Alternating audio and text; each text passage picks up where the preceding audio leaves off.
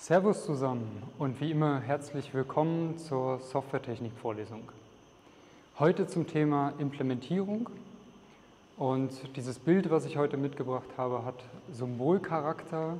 Äh, dass wir in Ulm Lehre auf höchstem Niveau machen, äh, bedeutet natürlich, dass man sich äh, tagtäglich, zumindest wenn kein Corona ist, auf den Berg hochquält mit dem Fahrrad und dann am Nachmittag oder Abend damit belohnt wird, eine rasante Abfahrt zu genießen. Und äh, diese Symbolkraft möchte ich nutzen. Ihr habt euch die letzten Wochen durch zig verschiedene UML-Notationen und Diagramme äh, kämpfen müssen und die erlernen müssen. Und heute kommen wir tatsächlich zur Implementierung, zu dem, was den meisten von euch sicherlich am meisten Spaß macht.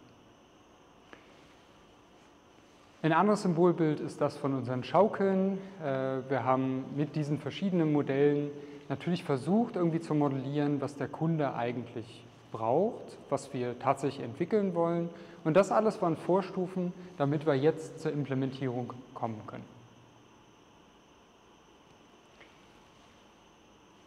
Mit der Implementierung, äh, da gehen eine Reihe von Sachen mit einher und wir werden uns heute mit folgenden Themen dazu auseinandersetzen.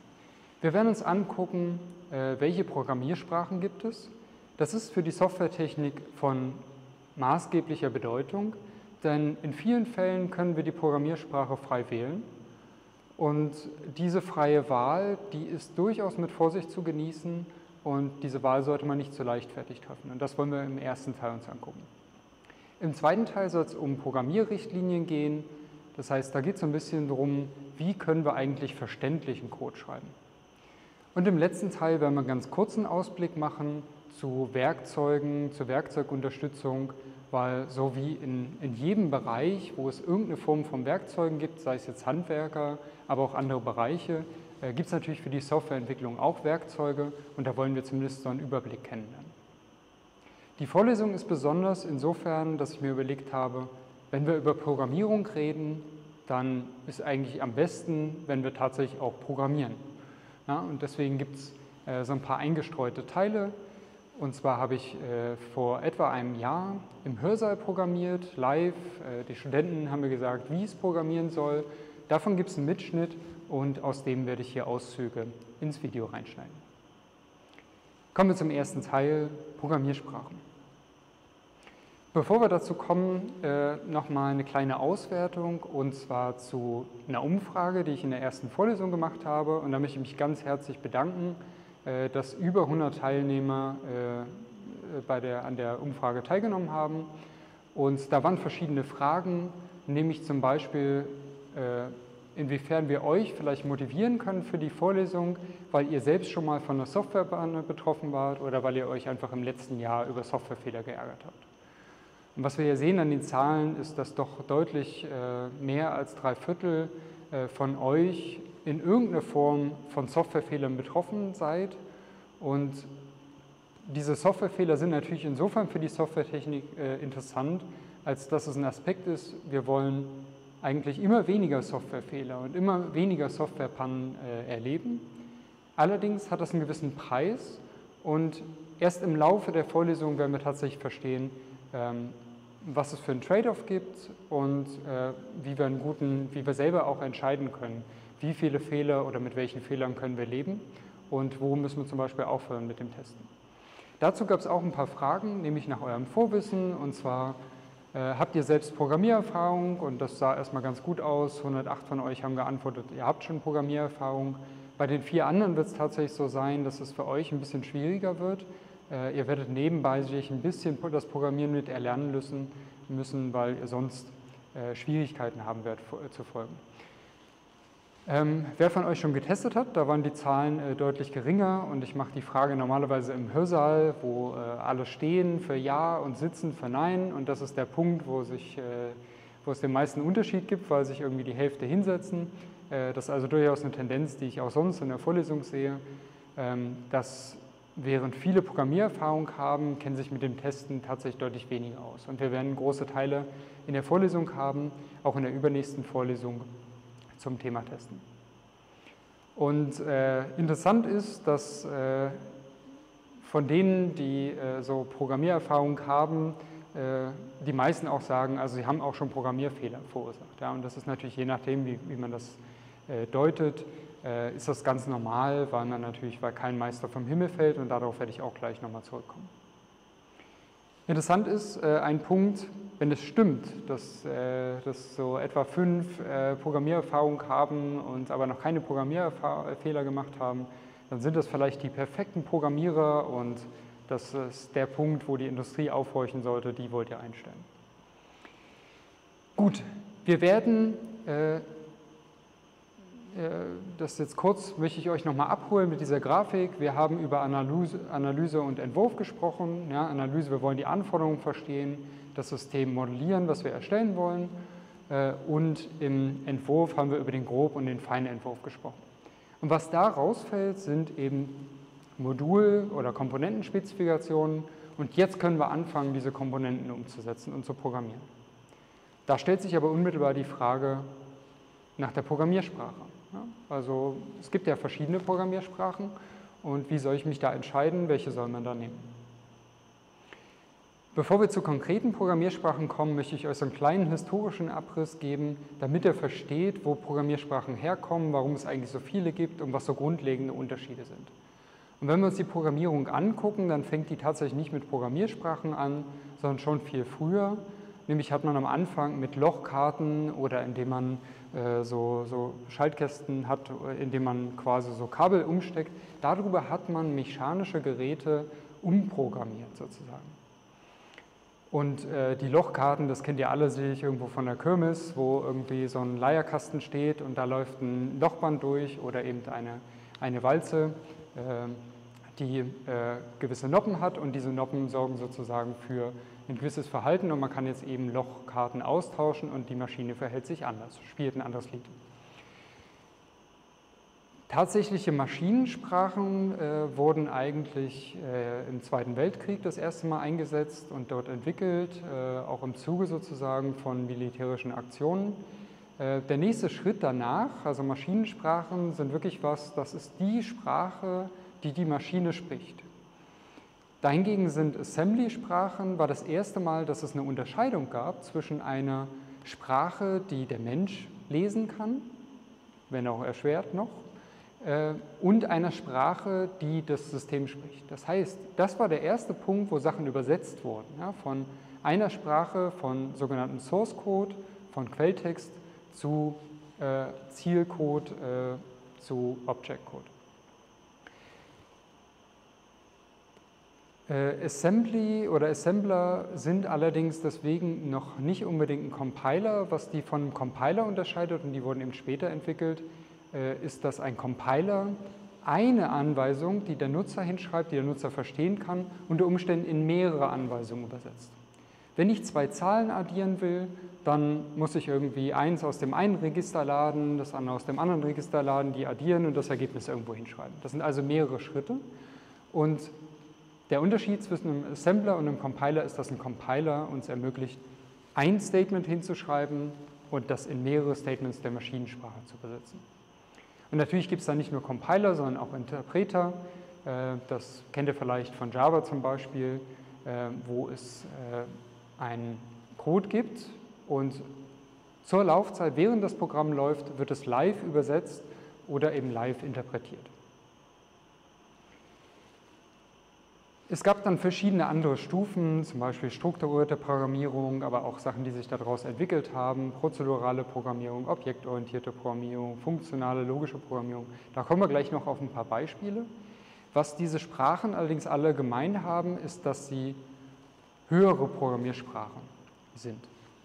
Was meinen wir damit und wie hoch ist eine äh, hohe Programmiersprache? Naja, was wir damit meinen, ist, die Höhe ergibt sich daraus, in wie viele einzelne Anweisungen auf der Maschine eine Anweisung, die der Nutzer hinschreibt, der Programmierer hinschreibt, äh, sich ergeben.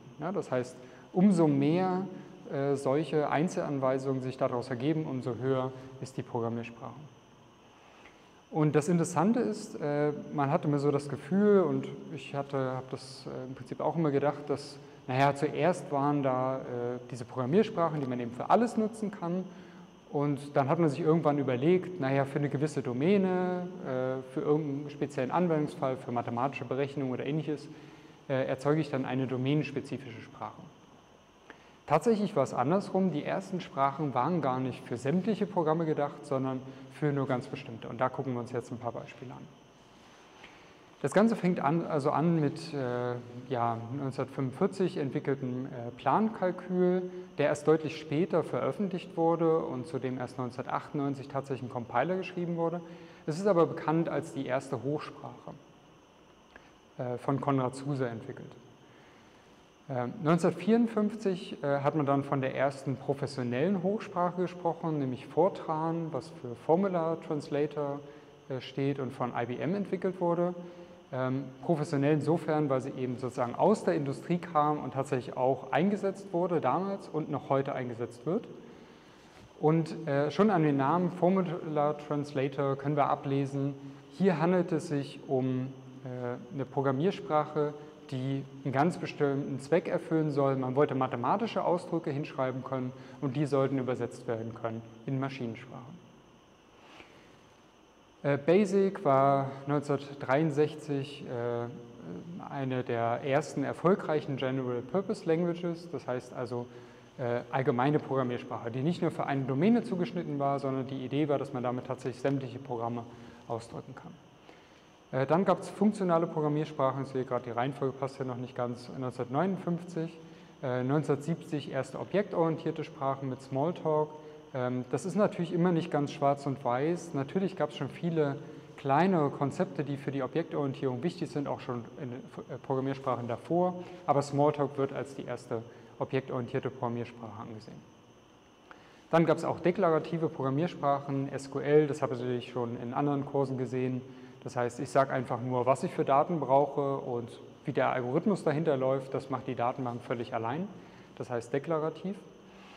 Ähm, dann äh, Pascal äh, als eine wichtige Sprache insofern, weil die eben äh, viel in der Lehre eingesetzt wurde früher. das, was heute, in Lehre und Forschung, das, was heute eben Java als Rolle ist, als die Sprache, die, in der unterrichtet wird, das war eben früher Pascal weil es eben sehr durchdacht war von Niklaus Wirth in, in seinen Sprachkonstrukten.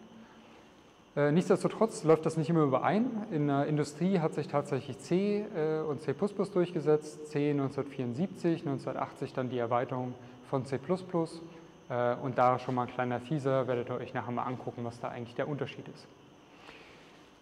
1977 dann auch eine logische Programmiersprache mit Prolog, die sehr bekannt geworden ist und auch heute noch sehr viel eingesetzt wird.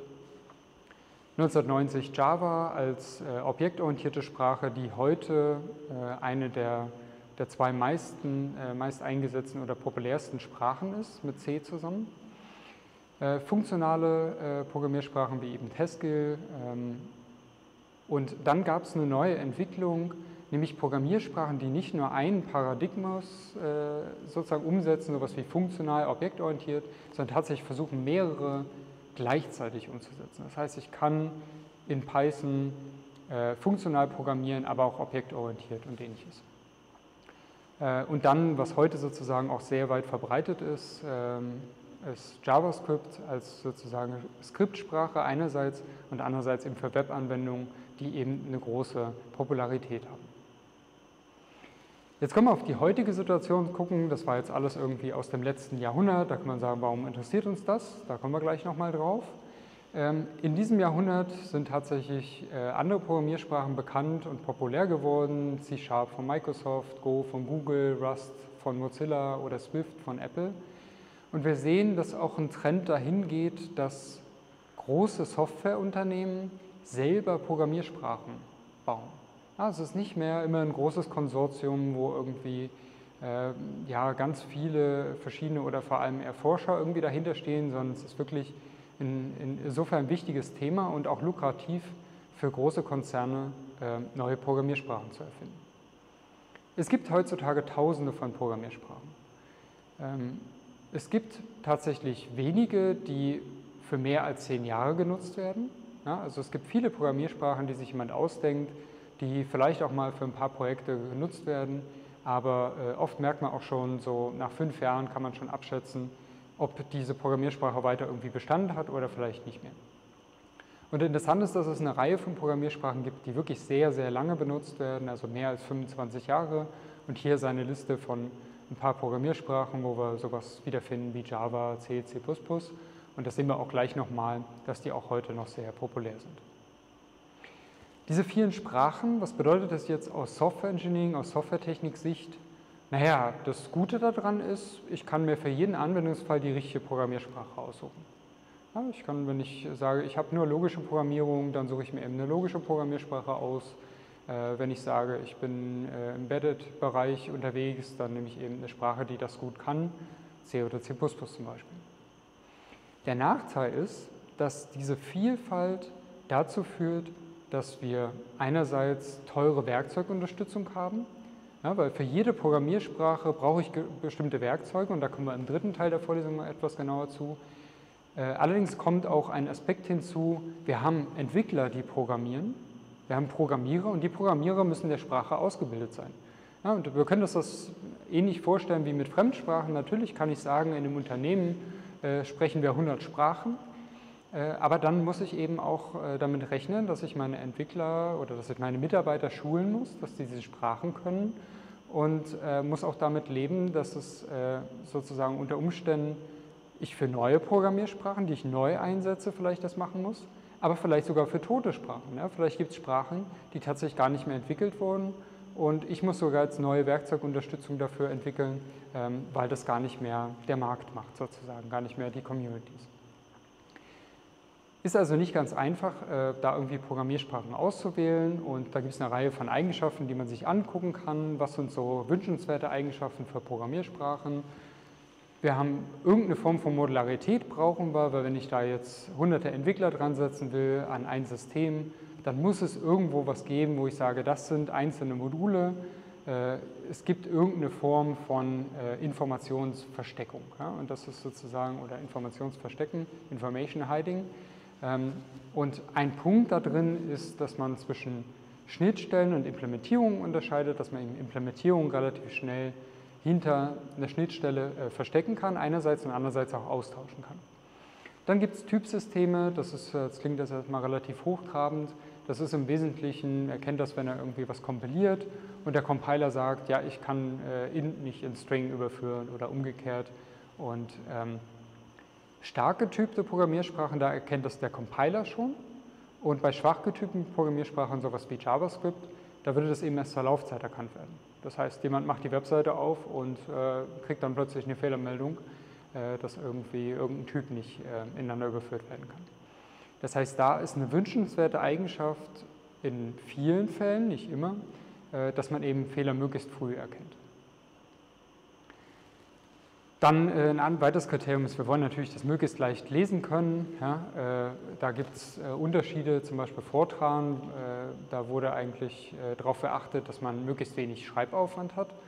Und bei Algol 60 hat man zum Beispiel darauf geachtet, dass man das möglichst gut lesen kann. Das heißt, die Keywords sind vielleicht ein bisschen länger, die man irgendwie schreiben muss, aber dafür kann man eben gut lesen und verstehen.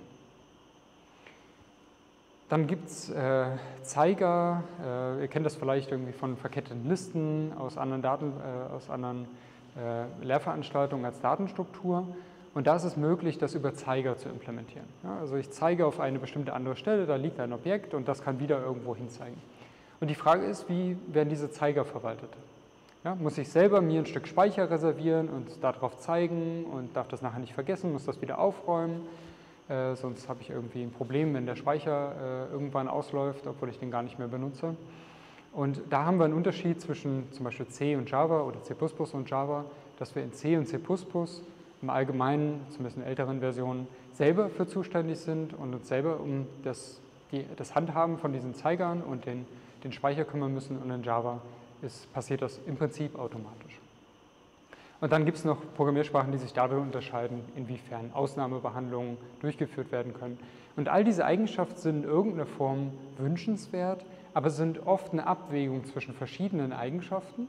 Und so kann es sein, dass wir für einen bestimmten Anwendungsfall bestimmte Eigenschaften eher priorisieren und andere weniger. Und sowas wie die Syntax sozusagen, soll ich das einfach schnell tippen können oder möchte ich, dass es verständlich ist und ich es leicht lesen kann, Äh, da gibt es eben mal solche und solche äh, äh, Situationen. Das ist jetzt vielleicht ein schlechtes Beispiel, da kommen wir auch gleich nochmal drauf. Äh, da ist man inzwischen so weit, dass die, das Lesen, dass man Quelltext gut verstehen kann, ist deutlich wichtiger, als dass wir das schnell tippen und schnell schreiben können. Gut, jetzt können wir nochmal ein bisschen etwas praktischere Brille aufsetzen und da drauf gucken und sagen, ja, also jetzt habe ich hier irgendwie ein Softwaretechnikprojekt und ich muss jetzt eine Entscheidung treffen. Was sind denn Kriterien für mich, nach denen ich entscheide, ob ich eine Programmiersprache nehme oder nicht? Ja, erstmal in vielen Anwendungsfällen ist natürlich vorgegeben, welche Programmiersprache man nehmen kann oder welche Programmiersprachen überhaupt zur Auswahl stellen. Ja, das heißt, kann durchaus sein, dass es in einem Unternehmen eine Policy gibt, die sagt, folgende fünf Programmiersprachen dürft ihr benutzen, mehr nicht. Für bestimmte Arten von Projekten zum Beispiel oder auch generell. Jetzt kann es aber auch sein, der Kunde legt das fest. Der Kunde sagt, wir brauchen unbedingt was in Java äh, und dann müssen wir eben in Java entwickeln. Es kann aber auch sein, es gibt existierende Infrastruktur, es gibt vielleicht schon irgendwelche Teile, die wollen wir nur noch erweitern. Dann sind wir daran schon gebunden an eine bestimmte Programmiersprache. Dann stellt sich auch immer die Frage, gibt es domänenspezifische Programmiersprachen? Gibt es Sprachen, die speziell für das, was ich jetzt machen will, entwickelt wurden? Oder nehme ich eine äh, allgemeine Programmiersprache, die sozusagen für verschiedene Anwendungsfälle funktioniert? Dann gibt es vielleicht äh, Sprachen, die irgendwie schon bekannt sind bei meinen Entwicklern, die ich einsetzen möchte oder nicht bekannt sind, die beliebter sind oder nicht beliebter. Äh, die Beliebtheit ist natürlich jetzt irgendwie nur ein Aspekt von vielen. Ähm, aber kann man natürlich, sollte man auch nicht unterschätzen. Es gibt äh, vielleicht irgendwie verfügbare Bibliotheken, wenn man jetzt äh, sagt, ich möchte eine Webanwendung machen, es gibt irgendwie Kommunikation oder serviceorientiert, ich möchte quasi verschiedene Rechnerknoten miteinander kommunizieren lassen, verteilte Anwendung, dann kann es unter Umständen wichtig werden, dass ich mir um äh, Verschlüsselungsalgorithmen Gedanken machen muss. Und vielleicht möchte ich solche Verschlüsselungsalgorithmen nicht selber implementieren, sondern Bibliothek nutzen dafür. Und dann stellt sich schon die Frage, in welchen Sprachen gibt es dann solche Bibliotheken und wie gut sind die eigentlich? Und so ähnlich ist das mit Bibliotheken, auch mit Werkzeugunterstützung, da kommen wir nachher noch ein bisschen drauf, was das genau heißt, aber gibt es gute Compiler, gibt es gute Editoren und ähnliches, wo ich mit der Sprache arbeiten kann. Ein Punkt, was wir uns auch gleich noch angucken werden, ist die Popularität, also wie beliebt ist eine Programmiersprache gerade und was mag sich an all diesen Kriterien ändern in der Zukunft. Denn wenn ich ein Software-System baue, wo ich sage, das wird wahrscheinlich zehn Jahre äh, leben und das werde ich immer wieder irgendwie weiterentwickeln in der Zeit, dann ist natürlich schon wichtig, äh, dass man überlegt, was wird in fünf Jahren sein? Wird in fünf Jahren, gibt es da noch äh, Java und gibt es da noch Compiler für Java und ähnliches, die noch funktionieren und die auf, aktueller, auf aktuellen Systemen laufen? Und dafür kann man sich die Popularität von Programmiersprachen ansehen. Da gibt es einen äh, Index äh, von einer Firma, ähm, wo ihr auch äh, gerne euch noch mehr dazu angucken könnt. Hier nun mal die zehn populärsten Programmiersprachen aktuell und wie sich die entwickelt haben über die Zeit. Und das ist ein bisschen wie mit der Unterscheidung zwischen Wetter und Klima. Äh, wir sind hier nicht an dem Wetter interessiert, das heißt, ob das gerade mal irgendwie ein bisschen hoch geht oder ein bisschen runter äh, sondern wir sind eher an generellen Entwicklungen interessiert. Ja? Eher so, gibt es grob einen Trend erkennbar äh, und diese Trends gibt es. Ähm, übrigens, diese Popularität wird anhand von, zum Beispiel anhand von ähm, Suchanfragen im Internet äh, äh, ermittelt. Das heißt, wir dürfen jetzt nicht jeden kleinen Hügel da drin überbewerten, weil vielleicht geht einfach eine Lehrveranstaltung los oder an vielen Unis die Lehre los mit einer bestimmten Programmiersprache und äh, plötzlich gibt es da einen, großen Ausschlag. Ähm, was wir aber sehen, ist ein genereller Trend. Äh, Java, C, C++, die haben alle eher einen Abwärtstrend, wohingegen wir sowas wie Python sehen, dass wir da einen deutlichen Anstieg ähm, sehen, gerade in den letzten drei, vier Jahren. Das ist eine Sicht, wie man da drauf gucken kann. Jetzt kann man sagen, okay, das sind jetzt irgendwie 20 Jahre. Ähm, man kann auch weiter zurückgucken. Man kann nämlich gucken, diese zehn Programmiersprachen und vielleicht mal noch drei, die irgendwie früher schon sehr relevant waren, ähm, wie haben die sich eigentlich über die Zeit entwickelt? Ja, wir sehen, SQL ähm, war irgendwie in dieser Liste noch gar nicht drin, weil es gar nicht äh, relevant genug war, ist inzwischen irgendwie relevanter. Ähm, C hat sich irgendwie den ersten und zweiten Platz irgendwie in den letzten Jahren immer mal geteilt mit Java äh, in der Popularität, ist aber sozusagen schon ganz lange dabei. Java gibt es noch gar nicht so lange. Ähm, wir können darin schon ein bisschen was ablesen, auch so Trends, ob Sachen eben beliebter werden oder unbeliebter. Und wie gesagt, das ist entscheidend, wenn ich ein Softwareprojekt mache, das, äh, was sehr langlebig ist, dann muss ich da sehr genau drauf gucken, welche Programmiersprache ich wähle. Und jetzt kommen wir zu dem Teil, äh, ich hatte das schon angekündigt, äh, wir wollen uns jetzt mal praktisch was angucken. Das heißt, ich habe vor einem Jahr im Hörser programmiert und ihr könnt euch das jetzt angucken. Äh, das war so ein bisschen interaktiv gestaltet. Leider sind die Fragen von Studenten nicht mit drauf, aber in den meisten Fällen könnt ihr einfach sehen, an dem, was ich, was ich mache und zeige, könnt ihr das trotzdem, denke ich, ganz gut nachvollziehen. Und ja, viel Spaß mit dem Video. Das Ding kennt wahrscheinlich jeder, ja. Das ist äh, so ein Taschenrechner in der Schule, weiß gar nicht, ob das noch so üblich ist. Da hat man noch so ein kleines Gerät. Irgendwann wird das wahrscheinlich auch abgelöst von einem Tablet oder ähnlichem. Äh, am Rechner haben wir quasi so eine kleine App, mit der können wir Sachen ausrechnen. Dazu gucken wir uns mal ein kleines Beispiel an. Was kommt da raus, wenn ich auf Ist gleich drücke? 7. Gucken wir nach. 7. Sehr schön. Gut, äh, warum? Ja, weil Punktrechnung äh, vor Strichrechnung, den Punkt erkennt man jetzt hier nicht so gut. Es gibt noch einen anderen Modus. Was kommt hier raus? Da kommt 9 raus. Äh, mich hat das ziemlich verwirrt, weil ich irgendwie äh, nicht damit gerechnet hatte, dass es einen Modus gibt, also der Standardmodus, ja, wenn ich den öffne und nichts umgestellt habe, der äh, ignoriert die äh, Mathematik. Und ich weiß nicht, für wen das implementiert ist, äh, Mathematik zu ignorieren, aber gut, der Hintergrund ist vermutlich, dieser Modus funktioniert so, wie so ein Taschenrechner früher funktioniert hat. Ja? Ich gebe eine Zahl ein, ich drücke auf den Button und der rechnet das sofort aus und verknüpft das dann mit dem nächsten Ergebnis. Ist natürlich ein bisschen schwierig, wenn ich da oben diese Formel anzeige, weil das ist grundgenommen ein falsches Ergebnis. Gut, da habe ich mir gedacht, das können wir besser. Wir programmieren jetzt hier selber einen Taschenrechner. Äh, Taschenrechner auch deswegen, weil man sich das relativ leicht vorstellen kann und mit relativ wenig Code schon mal was erzeugen kann. Das heißt, ich habe mich hingesetzt und habe einen Taschenrechner implementiert. Wir gucken uns den vielleicht erstmal an, wie der aussieht. Das ist er, der Taschenrechner. Ja, bin ich ganz stolz drauf. Ähm, der kann schon relativ viel. Ich kann hier so Zahlen eingeben. Und äh, das Beispiel von eben kann ich noch nicht machen, weil wir keine keine Multiplikation haben, aber was der macht, ist immer, er nimmt die Zahl, schreibt die unten hin, rechnet das Ergebnis wieder aus und bezieht das dann mit diesem Plus-Operator wieder zusammen. das heißt, die 4 wird jetzt mit der, äh, die 9 wird jetzt mit der 5 addiert und dann komme ich eben auf die 14. Gut, da können wir sagen, der ist jetzt relativ simpel, den wollen wir ein bisschen erweitern, der soll am Ende der Vorlesung ein bisschen mehr können. Ja, da wollen wir hin. Gut, Okay, das heißt, die GUI ist relativ einfach. Achso, ein tolles Feature habe ich noch nie gezeigt. Natürlich gibt es auch eine Fehlerbehandlung. Wenn ich jetzt hier Buchstaben eintippe, dann steht, äh, schmiert, schmiert, das Programm nicht ab. Äh, das war am Anfang so. Gut, das gibt drei Klassen. Das ist also relativ übersichtlich. Äh, wir haben erstmal einen Wert, ein Value. Das ist eben das, was ich da aus diesem Textfeld auslese. Das wird im Hintergrund repräsentiert. Dann gibt es eine Klasse add, mit der kann ich zwei von diesen Values, zwei Werten, im Wesentlichen Integers, kann ich damit verknüpfen. Und äh, der Sinn dieser Klasse ist, dass ich gleichzeitig beides machen kann. Ich kann sowohl diese Gleichung anzeigen, als auch das Ergebnis ausrechnen. Ja, weil sonst könnte man sich fragen, warum brauchst du hier für die Addition eine extra Klasse? Mach doch einfach das Plus. Wir haben auch in der letzten Vorlesung zum Beispiel gesehen, ja, von einer ganz komplexen Methode, die nichts mehr macht als das Plus.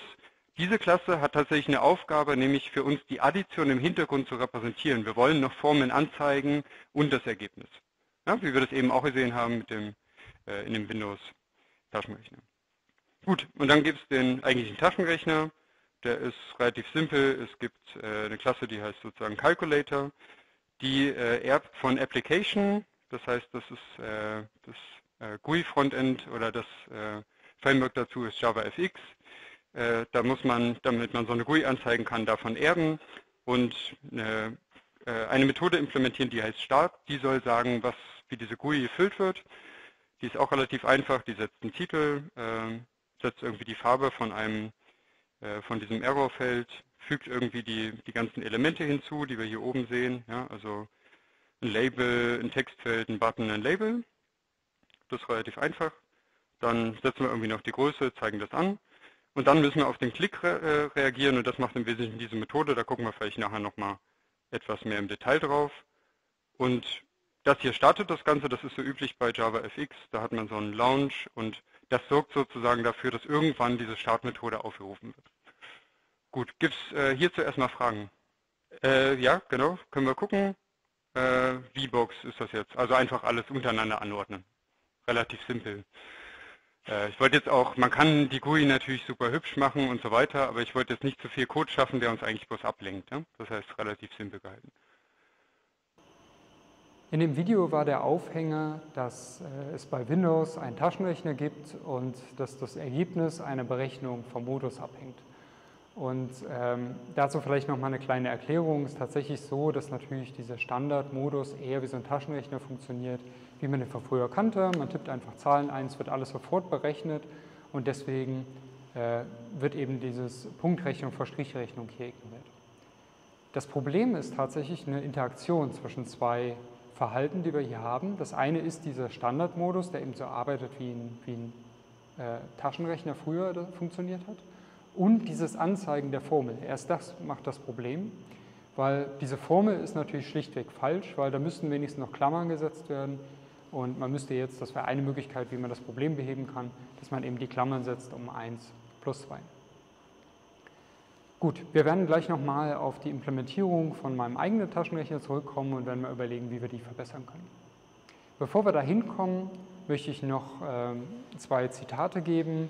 Und zwar das eine von Patrick McKenzie, äh, das ist ein Influencer ähm, äh, und Software-Engineer, ähm, mit folgendem Zitat. Every great developer, you know, got there by solving problems they were unqualified to solve until they actually did it. Äh, man könnte es, im Deutschen gibt es ein Sprichwort, ist noch kein Meister vom Himmel gefallen. Und äh, das ist das hier bloß sozusagen ein bisschen spezialisierter auf, ähm, auf die Programmierung. Programmieren erlernt man nur, indem man programmiert. Und dabei ist es so, dass wir tatsächlich immer wieder an einen Punkt stoßen, wo wir noch nicht genügend Programmierfähigkeiten haben, um irgendwas zu programmieren. Und nur dadurch, dass wir uns äh, das trotzdem versuchen, dranbleiben, werden wir zum besseren Programmierer und können danach wieder höhere Qualifikationen äh, uns aneignen. Das ist so ein bisschen so ein Plädoyer für alle, die noch dabei sind, Programmieren zu lernen, äh, da muss man einfach dranbleiben, man muss das immer wieder probieren, man braucht einfach viel Zeit, um Programmieren zu lernen. Und man muss immer wieder neue Sachen probieren, weil wenn man, ich sag mal so, einfach in C bleibt und immer prozedural programmiert, dann kommt man quasi nicht darüber hinaus, sondern man muss immer wieder neue Sachen ausprobieren. Das ist das eine, was einen motivieren kann. Das andere ist, dass das Programmieren selber was mit uns verändert. Und dazu ein Zitat von Bill Gates. Äh, Bill Gates war in den letzten 30 Jahren, die Hälfte der Jahre, nämlich 15 Jahre, der reichste Mensch der Erde. Und äh, äh, natürlich durch seinen Erfolg mit äh, Windows und Microsoft. Und äh, Bill Gates setzt sich eigentlich auch sehr für, für sehr viele äh, Dinge ein und insbesondere dafür, ähm, dass Kinder möglichst früh programmieren lernen. Und aus diesem Zusammenhang ein Zitat. Learning to write programs stretches your mind and it helps you to think better, creates a way of thinking about things that I think is helpful in all domains. Das heißt, das Programmieren, das Erlernen von Programmieren, das verändert die Art und Weise, wie wir über Probleme nachdenken und kann uns sehr wahrscheinlich in vielen Bereichen helfen.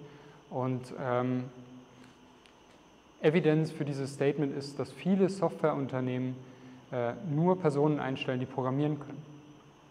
Das heißt nicht, dass die alle weiterhin später programmieren müssen, aber es werden primär Personen gesucht, die eben schon programmieren können, weil die anders an Probleme rangehen und anders darüber nachdenken. In dem ersten Teil der Vorlesung haben wir uns um Programmiersprachen gekümmert, wir haben uns angeguckt, was ist so, wo kommen die historisch her Und es geht im Wesentlichen darum, wir haben irgendeine Maschine und wir wollen die programmieren, wir wollen das Verhalten dieser Maschine ändern. Es gibt gewisse Kriterien, äh, nach denen wir Programmiersprachen auswählen können. Eine davon ist Popularität, aber es gibt viele andere Kriterien. Und es ist ein bisschen schade, dass in der äh, Literatur zur Softwaretechnik äh, ist das eigentlich sehr stiefmütterlich behandelt. Also diese Kriterien, das ist schwer, darüber überhaupt irgendwas in der Literatur zu finden. Und die beste Übersicht ähm, noch zum Thema Programmierung äh, findet ihr in Jones und äh, Krypzik äh, Bochkor in diesen zwei Büchern, die dann auch verlinkt sind, wenn ihr da draufklickt in den Folien. Jetzt habe ich zwei Angebote für euch, äh, was ihr jetzt praktisch machen könnt. Das eine ist, äh, es gibt ein äh, ja, sehr, sehr gutes Tutorial, wie ich finde, das habe ich schon sehr oft geguckt, wie man C-Programme in C++-Programme überführt. Das findet ihr unter Umständen interessant, das könnt ihr euch angucken. Ähm, und das Zweite wäre, ihr könnt jetzt natürlich in den Quelltext reingucken zu dem Taschenrechner, den ich vorgestellt habe in dem Video und könnt euch da mal überlegen, was ist eigentlich mit dem Code, kann man da nicht irgendwas dran verbessern? Weil wir werden im nächsten Teil der äh, Vorlesung werden wir uns angucken, wie eigentlich guter Quelltext aussehen soll und werden dann im Anschluss tatsächlich auch diesen Quelltext verbessern. Aber für euch ist vielleicht ganz interessant zu sehen, wo steht ihr, was fällt euch vielleicht schon auf an dem Quelltext, was würdet ihr anders machen.